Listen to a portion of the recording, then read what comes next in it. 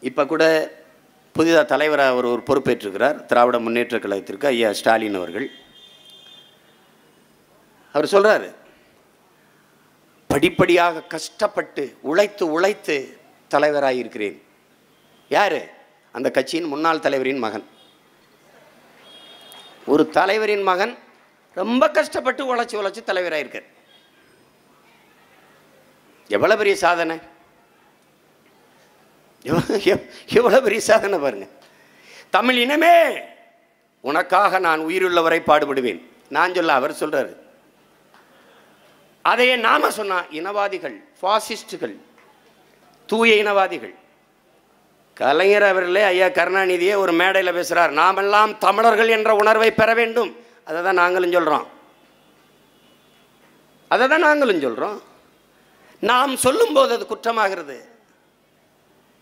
ஏன் தமிழ் இனமே தமிழ் இனத்துக்கு தலைவராக இருக்கிறார் ஏன் திராவிடர்களே திராவிட இனமே உனக்காக நான் பாடுபட போகிறேன் ஏன் நீங்கள் சொல்லலை?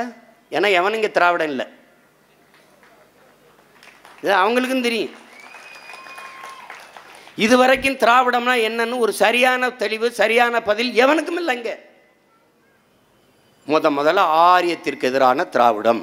திராவிடம் என்று இல்லை என்றால் தமிழர் என்று இருந்தால் பிராமணர்களும் பார்ப்பனர்களும் நாங்களும் தமிழர்கள் என்று இந்த கட்சியில் சேர்ந்து விடுவார்கள். யாரு? முதல்ல இவங்க சொன்ன காரணம். இப்போ நாங்கள் தமிழர்கள் என்று வச்சுருக்கோம். எத்தனை பார்ப்பனர்கள் எங்கள் கட்சியில் வந்து சேர்ந்துட்டாங்க? ஒருத்தனும் சேரல. ஒருத்தரும் சேரலையே. இவர்கள் திராவிடர்கள் என்று வைத்தால் ஒரு பிராமணரும் இந்த கட்சிக்குள்ள வரமாட்டார்கள் என்று. முப்பத்தைந்து ஆண்டுகளாக ஒரு பிராமண பெண் இந்த கட்சிக்கு தலைவியாக இருந்து செத்து போயிடுச்சு.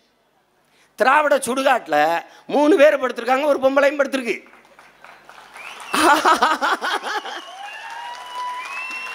திராவிட சுடுகாடு இருக்குல்ல? அதில் காமராஜருக்கே இடம் கொடுக்கலைங்கிறார். நல்ல வேலை கொடுக்கல. இது கொடுமை. அந்த திராவிட சுடுகாடு நமக்கு தீண்டத்தகாத ஒரு இடம் அது. அந்த அந்த இடத்துல ஒரு ஆள் படுத்திருக்கு. அம்மையார் ஜெயலலிதா. அது யாரு? அந்த ஆரியத்தை அந்த பிராமணியத்தை எதிர்த்துத்தான் இவர்கள் புரட்சி செய்தார்கள். இப்ப கூடவே படுத்திருக்கிறார்கள். என்ன கதை இது? ஆரியத்தை எதிர்க்க வந்த திராவிடம் மண்டிட்டு நிக்கல. மண்டிட்டுன்னா கூட தாண்டி போக கஷ்டம். மல்லாக்கப்படுத்திருச்சு.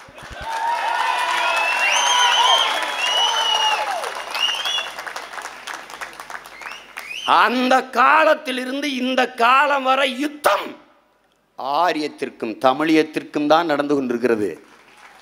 இடையில திராவிட அறுவடை செஞ்சுட்டான். உங்களுக்கு நல்லா விளங்கணும் இது. இது ஒரு பெரிய பெரிய கதை இது. இப்போ என்ன சொல்கிறதுன்னு தெரியல. ஆதிக்கத்துக்கு எதிரானதான் திராவிடம். சரி இங்க வா. எந்த ஆதிக்கம்? சாதி ஆதிக்கமா? வர்க்க ஆதிக்கமா? எந்த ஆதிக்கம்? அதிகார ஆதிக்கமா? எந்த ஆதிக்கம்னே தெரியாது. ஆதிக்கத்துக்கு எதிரானது. எந்த ஆதிக்கம்? சமூக நீதி தான் திராவிடம். அப்படியா?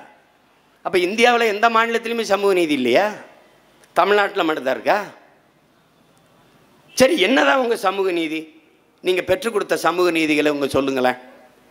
தமிழ்நாட்டில் தமிழர் தாய் நிலத்தில் தமிழர் அல்லாதோர் பிறமொழி மாநிலத்தைச் சேர்ந்த எல்லாருக்கும் இடஒதுக்கீடு இருக்கிறது. இவர்கள் போற்றுகிற சமூக நீதி அறுபத்தி மூணு சாதி. அதில் அஞ்சு சாதி தான் தமிழ் சாதி. பூராம் பிறர். நல்லா அனுபவிச்சுக்கிட்டு இருக்கான் இடஒதுக்கீடை. இதில் இந்த இடஒதுக்கீடை கேட்டு போராட என்னையே கூட்டி போயிட்டாங்க. அங்கே வந்திருக்கேன் என் தம்பி சிவகுமார் பார்த்துட்டு அண்ணே அஞ்சு பேர் தானே நம்மால் இருக்கான் பூரா மத்தாளாக இருக்கான் அண்ணே.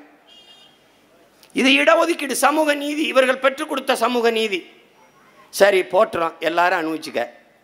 இந்த மாநிலத்தை தாண்டி வேறு மாநிலத்தில் எனக்கு பெற்றுக் கொடுத்த இடஒதுக்கீடு என்ன? மராட்டியருக்கு இடம் இருக்குது பீகாரி இருக்குது இங்கே இடம் இருக்குது கன்னடருக்கு இருக்குது மலையாளிக்கு இருக்குது தெலுங்கருக்கு இருக்குது எல்லாருக்கும் இங்கே இடஒதுக்கீடு இருக்குது ஆனால் நான் அவுட் ஆஃப் கஸ்ட் வேறு மாநிலத்தில் நான் ஒடுக்கப்பட்டவன் பிற்படுத்தப்பட்டவன் தாழ்த்தப்பட்டவனாக இருந்தாலும் எனக்கு எந்த சலுகையும் கிடையாது. இதை பெற்றுக் கொடுத்துருக்கிறீர்களா? ஏகாதிக்கு இங்கே விடுமுறை உகாதிக்கு விடுமுறை. என்னுடைய புத்தாண்டு பிறப்புக்கு ஆந்திராவில் கர்நாடகாவில் ஒரு விடுமுறை பெற்றுக் கொடுத்துருக்கீங்களா இங்கே இருக்கிற ஓணத்திற்கு நாங்கள் பொது விடுமுறை அரசு விடுமுறை. ஆனால் அதே கேரளாவில் என்னுடைய புத்தாண்டு தை ஒன்றுக்கு பொது விடுமுறை உண்டா?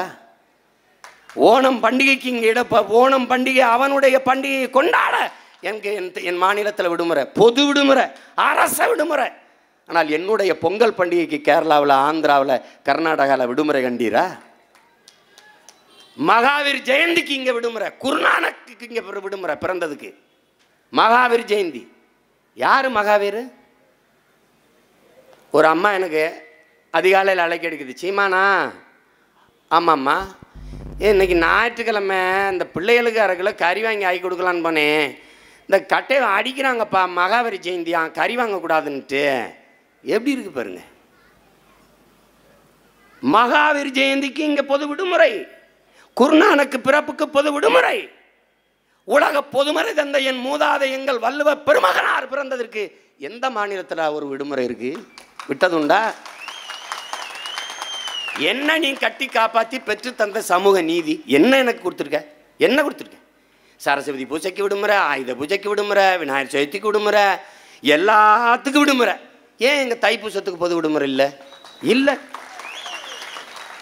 என்ன நீதி இது? திட்டமிட்டு இழைக்கப்பட்ட அநீதி. அந்த வார்த்தையை பிடிச்சிக்கிறதுக்கு பதில் தெரியல. கடைசியாக இடஒதுக்கீடு அது இல்லைன்னா நீ படிச்சிருக்க முடியாது. அது இல்லைன்னா நீ தெருவில் பிச்சை எடுத்துக்கிட்டு இருக்க. இப்போ மட்டும் என்ன செஞ்சுக்கிட்டு இருக்கேன்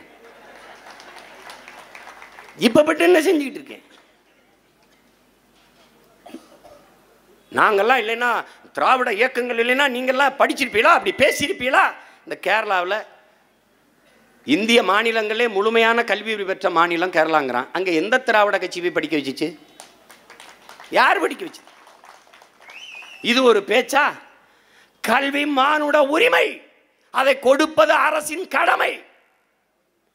அதை கொடுத்தோம் கொடுத்தோம் கொடுத்தோம் என்று சொல்லிக்கொண்டே இருப்பது கேடுகட்ட மடமை கொடுமை.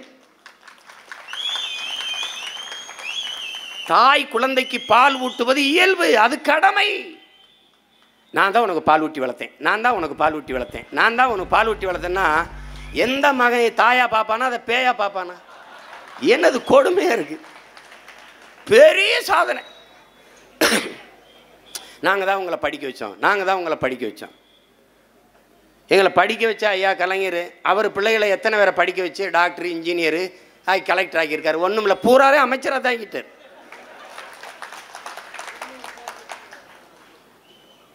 எங்கள் ஊரில் சொல்லுவான் கேட்குறவன் கேனப்பையில இருந்தால் கேப்பையில் நெய் வெடிதுன்னு சொல்லுவான்பா இது ஒரு கேனப்பைய கூட்டம் முடிவெடுத்துட்டாங்க பயங்கர சமூக நீதி இப்போ. மகாராஷ்டிராவில் போய் நான் ஒரு தமிழனுக்கு இடம் கொடுத்துட்டான். தேர்தலில் நிற்க அப்போ வந்து போய் வேலை செய்கிறேன் அவனை எப்படியாவது வெளில வைக்கணும்னு மக்கள் கேட்குறாங்க கேட்கும்போது அண்ணன் நீங்கள் ஏன்னு நிற்கலை அப்படின்னா அண்ணே நம்ம வந்து ஓபிசின்னு நம்ம அவுட் ஆஃப் கேஸ்ட்டுண்ணே நமக்கு இங்கே ஒரு வாய்ப்பு இல்லைன்னுங்களா ஆனால் இங்கே எல்லாரும் பிசி எல்லாருக்கும் வாய்ப்பு இருக்குது அப்போ ஐயா சகாயம் அவர்கள் சொன்னது போல் இது ஒரு தரிசு நிலம்பல் ஆயிடுச்சு யார் வேணாலும் குடிசை போட்டு வாழலான்ட்டு.